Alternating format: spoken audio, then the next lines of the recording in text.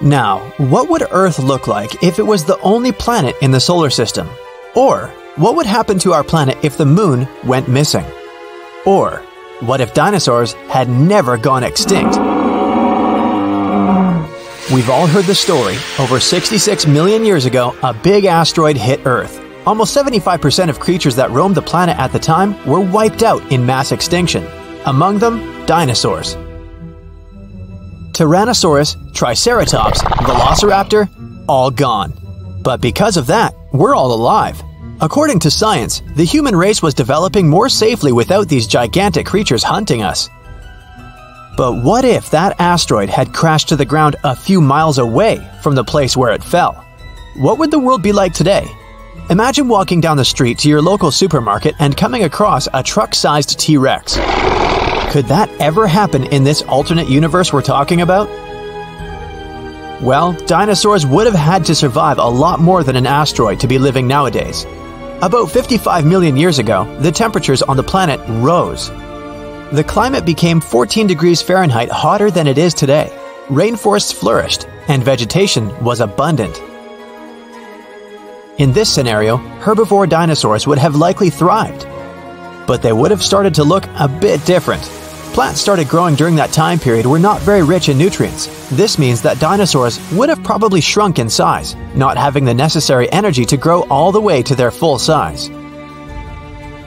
Then, about 34 million years ago, South America and Antarctica split, which resulted in a cooler and drier climate. During this period, long legged dinosaurs would have been the ones to survive. At that time, animals had to travel long distances to hunt, since seasons started to affect the availability of food and water. Compared to the mammals of that period, dinosaurs would have had significant advantages, like having more teeth or better eyesight. And speaking of mammals, some of them probably would have never evolved. That would have become dinosaurs' breakfast first. By the way, did you know that some dinosaurs live among us today?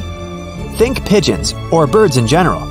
They've all evolved from dinosaurs. Now, I bet you've heard once or twice that we use 10% of our brains. If this was true, what would happen if you used 100% of our brain? Would you be able to compose a symphony? Would you become a tech genius and create a multi million dollar company overnight? Let's start with the facts. We don't only use 10% of our brain. This notion became highly popularized by movies, but it's not very accurate. The truth is, the largest portion of your brain is active at all times. But not all parts are working simultaneously. The exact percentage varies from person to person. Now, neurologists say you wouldn't be using 100% of your brain's capacity at once. Your body simply wouldn't have enough energy for that, which means you'd be hungry all the time. Imagine the number of calories you'd need to consume for that to work. You would also be limited by your body's basic needs breathing, digesting food, and circulating blood. So, if you did use all of the capacity of your brain, you'd be tired all the time. It'd be worse than running a marathon without any preparation. The brain would need all the blood you'd have, which would mean less oxygen for your lungs. Different organs would begin to shut down one by one. In a nutshell, it'd be terrible for your health. By the way, some researchers have estimated that more than 60% of the brain is composed of something that is called neural dark matter. In other words, this dark matter consists of neurons that have no apparent purpose or simply don't respond to common stimuli. Marathons are some of the greatest feats of strength and endurance in the world, but what would happen to your body if you decided to run a marathon without any training? The statistics are overwhelming. Nearly 50% of participants drop out of the race before crossing the finish line. A regular marathon is 26 miles long, and if you're not used to physical activity, it's a great challenge. You'd probably be able to run the first mile without any serious problems, but breathing loudly and heavily through your mouth. By the third mile, your body temperature would skyrocket, and you'd feel as if you have a mild fever. You'd most likely give up here, but if you decided to keep going, you'd have to trick your mind and body into running another 23 miles. By the 20th mile, you'd hit what is known as the wall. Your body would have burned all your reserves of glucose and you'd get extremely tired. Even experienced runners often go through this stage. By the end of the marathon, you'd be promising yourself to never do this again. You'd leave the race with at least a few cramps and many food cravings. Now picture this it's a clear, beautiful night. There are no clouds, and you can see two of the brightest planets in Earth's sky blinking up there. Those are Mars and Venus. Now, have you ever imagined what would happen if Earth was the only planet in the solar system? If the other planets never existed, things would be really different for our Earth. The planets in the solar system work together, keeping one another in certain place with their gravitational pull. Now, if Mercury or Venus ceased to exist, Earth would drift closer to the Sun. Our atmospheric temperature would become similar to that on the surface of Mercury 800 degrees Fahrenheit. This would make life on Earth impossible, but if Jupiter or Saturn disappeared, Earth would most likely drift further away from the Sun, and its temperature would drop to below negative 200 degrees Fahrenheit. If life managed to survive in such circumstances, it would probably be aquatic. The position of Earth in the solar system not only affects all kinds of life forms, but it also dictates seasons, the length of days, and how long one year lasts. Now, when we say no other planets, we mean no moons either. So, what would happen if one fine day the moon just disappeared? That would have catastrophic consequences. The moon has the largest influence on Earth's tides. In a moonless universe, tides would shrink by about 75%. This would greatly affect crabs, mussels, and sea snails that live in tidal zones. This would consequently disrupt the diet of larger animals. Eventually, it would affect entire coastal ecosystems. Earth's weather would change. Tides and tidal currents help mix cold Arctic water with warmer water from the tropics, stabilizing the climate worldwide weather forecasting would become almost impossible, and the average difference between the hottest and coldest places on Earth would become extreme. The absence of the moon would also influence Earth's tilt. Right now, Earth tilts on its axis at 23.5 degrees, mostly due to the moon's gravity. With no moon around, Earth's axis would wobble between 10 to 45 degrees, Scientists believe that even a slight difference in Earth's tilt can cause huge changes, such as an ice age. Other than this, a moonless sky would upend the lives of many nocturnal animals. Moths have evolved to navigate using the light of the moon and stars. Newborn baby turtles use the moon's light to find their way to the ocean. Different animals rely on both darkness and a small amount of moonlight to hunt effectively. Now, how about we travel far back in time and imagine what would happen if you lived in ancient Egypt? This civilization lasted for over 3,000 years. Ancient Egyptians were responsible for building some of the world's most recognizable symbols the Great Pyramids at Giza. If you'd lived in ancient Egypt, you'd have witnessed a time of enormous scientific and mathematical breakthroughs. Ancient Egyptians organized themselves in strict social structures, so you'd probably have to fit into one of them you'd have either been born a laborer, a farmer, or a specialist, which was either a soldier, a sailor, or a teacher, or you'd have been part of the Egyptian elite. If you had been a farmer, you'd probably live in a house made of mud bricks. You'd have had a stone oven and kept your food stored in a pit in the ground. You'd have spent your days tending to crop fields by the Nile River, or taking care of cattle and ducks. On tax days, you'd have packed up some of your harvest and brought it to the temple as payment for the usage of land. If you'd been a member of the elite, you'd have spent most of your days in banquets. You would have adorned yourself in gold and semi precious stones, displaying all your wealth. If you had lived in ancient Egypt, maybe you would have been one of those who invented tables. Yep, before the Egyptians, there was no such thing as a table. This invention appeared as a way to keep food off the ground. Imagine stepping out of your spacecraft and setting foot on the surface of the moon. Under your feet, the ground is covered with a fine material that looks like powder. That's lunar dust. You look around and take a lungful of fresh air. It smells very different from the air on Earth, but still nice. Now, unfortunately, this is a highly unlikely scenario, and one of the reasons is that the Moon has almost no atmosphere. Earth's natural satellite is too small, less than 2% of our planet's mass. That's why it doesn't have a magnetic field strong enough to keep an atmosphere. But even if the Moon had it, solar winds would immediately pull it away. But if you could visit the moon 3 or 4 billion years ago, oh, you'd see a very different picture. At that time, the moon most likely had an atmosphere. It formed at the times when powerful volcanic eruptions were rocking the satellite. Gases spread all over the moon's surface. It happened so fast that they didn't have enough time to escape into space. At that time, the lunar surface was covered with basins filled with volcanic basalt. Just imagine ginormous plumes of magma hurling high into the air, falling to the ground, forming lava flows. That's how the basalt basins appeared on the surface of the moon. At one point, scientists on Earth got their hands on samples brought from the moon. They found out that lava flows there contained not only carbon monoxide and sulfur, but also the building blocks of water. Thanks to these samples, researchers managed to calculate the amount of gas that rose and formed the atmosphere. It became the thickest around 3.5 billion years ago and existed for about 70 million years. After that, poof, the atmosphere was lost in space. But the coolest thing? When the moon did have an atmosphere, the satellite was 3 to 10 times closer to our planet. One computer simulation even suggested the moon was probably up to 19 times closer than it is now.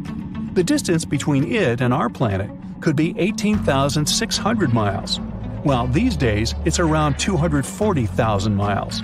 That's why the moon looked much, much bigger in the sky. Unfortunately, at that time, not even dinos were around to admire the view. Hm, neither was I. At the same time, the most recent studies have confirmed that our moon actually does have an atmosphere. It's composed mostly of hydrogen, neon, and argon, and contains some very unusual gases, like potassium and sodium. You can't find them in, let's say, the atmospheres of Mars, Venus, or Earth. Sadly, such an atmosphere isn't suitable for us oxygen dependent creatures. But guess what? There's loads of oxygen on the moon, Nah, I know, it must sound confusing, but the thing is, this oxygen isn't in its most common gaseous form. Nah, it's trapped in a layer of rock and dust covering the surface of the moon. This layer is called the regolith, and it contains up to 45% oxygen. So, does it mean that if people learned how to extract this oxygen, we would be able to live on the moon? Eh, not so fast. The oxygen in those rocks is very tightly bound into the minerals, and to break these components apart, we'd need tons of energy and special equipment. But if people managed to start this process, the moon would deliver quite a lot of oxygen. Now, there's a theory that the moon might have been formed during a collision between Earth and another planet. This planet must have been smaller, the size of Mars. It probably happened around 4.5 billion years ago. Another theory claims that the moon used to be an asteroid or some other wandering body. It formed somewhere else in the solar system. When it was passing by Earth, it got caught by our planet's gravity. Other experts think that at some point in the past, Earth was spinning so fast that some of its material broke away. It soon started to orbit our planet, and that's how the moon appeared in the sky.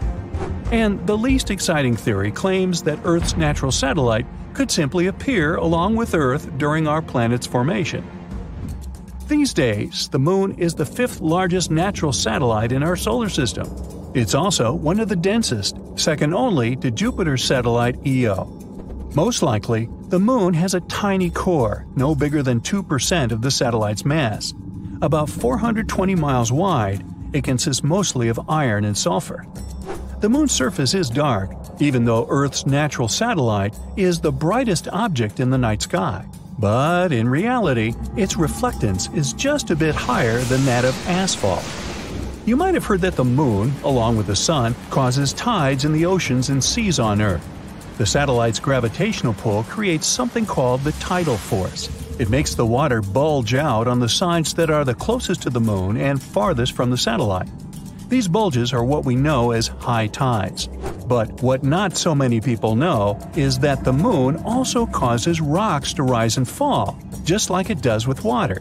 Of course, this effect doesn't look as dramatic as ocean tides, but it's still noticeable. Earth's solid surface moves by an inch or so with each tide. Now, not only does the moon cause tides on our planet, but it also slows down its rotation. This phenomenon is known as tidal braking. It increases the length of a day on Earth by a bit more than 2 milliseconds per 100 years. The moon is also moving away from Earth at the same rate at which your fingernails grow. That's about one and a half inches per year. Um, you should really cut those. If one day it floats away into space, our planet will have to live through tough times. Without the stabilizing pull of the moon's gravity, Earth's tilt would start changing wildly, from no tilt at all, meaning no seasons, to a large tilt, resulting in extreme weather. Since the moon doesn't have an atmosphere, nothing protects it from extreme temperatures. It gets incredibly cold on the night side, minus 390 degrees Fahrenheit. Meanwhile, the sunny side is literally boiling, with a temperature of 250 degrees Fahrenheit.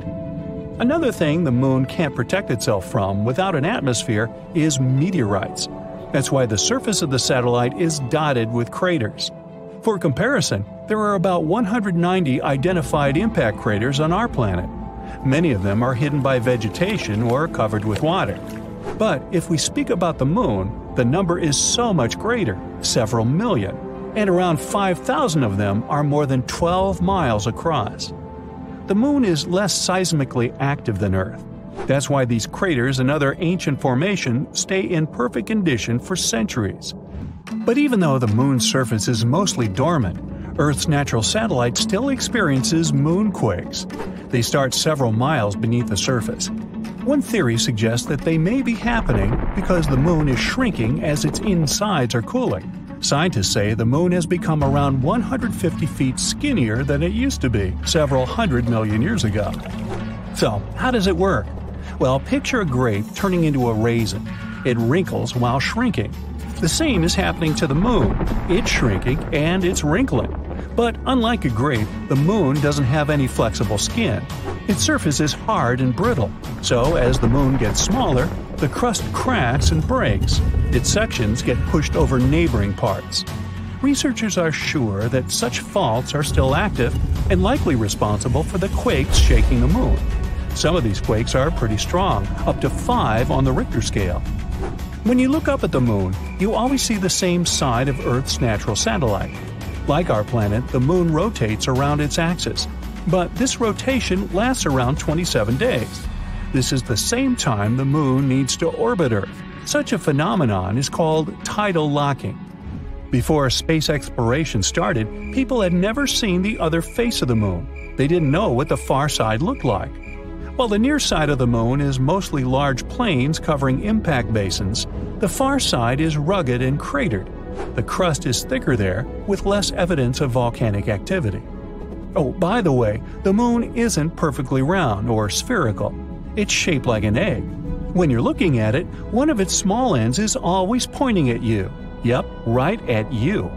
This is the reason why the moon's center of mass isn't its geometrical center. In reality, it's a bit more than one mile off center, like a poorly made golf ball. When you see it in the sky, it looks round, but the moon is more of an oval shape, similar to a lemon. This shape, flattened with a bulge on each side, came out billions of years ago when extremely hot tidal forces shaped its crust. They heated up some regions more than others. Gravity from our planet has helped to exaggerate this lemon shape over time. When they were getting ready to send missions to the moon, some researchers were worried because there was a thick layer of dust on the lunar surface. They were afraid seas of dust were both soft and thick enough to swallow their lunar lander. But even though the surface there is dusty, this layer is just too thin to cause complications. Our moon certainly isn't the biggest one in the solar system. The champion here is Ganymede, one of the 79 moons circling around Jupiter. But our moon is the largest in relation to its parent planet. It has a diameter of more than 2,000 miles, which is slightly bigger than the quarter of the size of the Earth. Pluto, for instance, has a smaller moon to planet ratio. Its biggest moon, Charon, is almost the size of Pluto. which is why it looks like a double dwarf planet system. How long would a walk around the moon take you? When the Apollo astronauts were there, they managed a walking speed of approximately 1.3 miles per hour. On average, you walk twice as fast down on Earth. The low gravitational force on the moon would give you significantly less traction on the ground. But those special spacesuits astronauts were wearing were never actually designed for long distance hikes. In theory, you could maybe reach the speed of 3 miles per hour before you'd need to break into a run. At this pace, you travel 6,770 miles, which means making a circle around the moon in 91 days if you are walking non stop. Why does the moon change its shape? It goes through different phases each month, starting from the new moon and gradually going to the full moon. Just to do the same thing all over again, but in reverse. The sunlight hits one half of the moon at a time. This gives it a night and a day side, just like we have it here on Earth. The shape we see the moon in depends on where it's located compared to the sun. If it's directly between us and the sun, the sunlight only hits the side we don't see. That's a new moon. It appears completely dark in that phase. But when it comes to the far side of our planet from the sun, its day side completely faces the Earth. That's when we see a full moon. After the initial phase, when the moon is new, we'll see more of its surface in the sky as it orbits our planet. It's something we call waxing. The moon in this phase first becomes a crescent. The first quarter moon is when it's half full. After that, it goes into a gibbous moon phase, when it's larger than half full, but not yet full. After it reaches the full moon phase, it slowly shrinks and goes through the same phases but in the opposite direction. While up on the moon, you'd probably see human footprints there. True, no one has stepped there since the last Apollo mission in 1972 and the footsteps may stay there for many years because there's no geological activities on the moon, like earthquakes or volcanoes. There are no winds, rain, or other things that could erase these footprints. How would you get to the moon? Rockets are probably the first thing that comes to your mind, but a lunar elevator could be an even better solution because traveling in a rocket would be a difficult, expensive, and pretty dangerous way to try to reach the lunar surface. Why would people want to go there? It's not just about craters, an amazing view of our home planet, or other unique things the moon offers. It's also full of resources like a rare form of helium. Humans could use it in fusion power stations on Earth. We could extract some other rare elements too, and use them for smartphones and other gadgets. For a lunar elevator, we'd need to stretch a cable anchored to the moon's surface for 250,000 miles towards the Earth. We wouldn't be able to attach it directly to our planet because both Earth and the Moon are moving. But we could terminate high in our planet's orbit. We'd have solar powered robotic shuttles that would move up and down the cable. This is like having a conveyor belt to ferry rare and precious resources our way. The cable would be as thick as a pencil and would weigh 40 tons. It sounds expensive, but a lunar elevator would most likely pay for itself within only 53 trips. The moon is in constant motion. It rotates on its axis and circles around the Earth, and it makes the same amount of time for the moon to make a circle around the Earth and rotate once on its axis, compared to our planet, which rotates on its axis every 24 hours and makes a full circle around the sun in 365 days. So, the moon is tidally locked to our planet, which is why we always see the same side of the moon. One theory says the moon probably formed when a large Mars sized object from our solar system hit the Earth. They collided 4.5 billion years ago when the solar system was still in its early stage, which was pretty chaotic. If this theory is correct, around 60% of the moon is made of lighter elements that are also present in the outer layer of our planet. A lucky set of circumstances lets us see total solar eclipses from our planet. The moon is the perfect size and distance from the Earth to appear the same size as the sun when we're looking at it in the sky. When the moon passes between the sun and us, it covers the sun perfectly.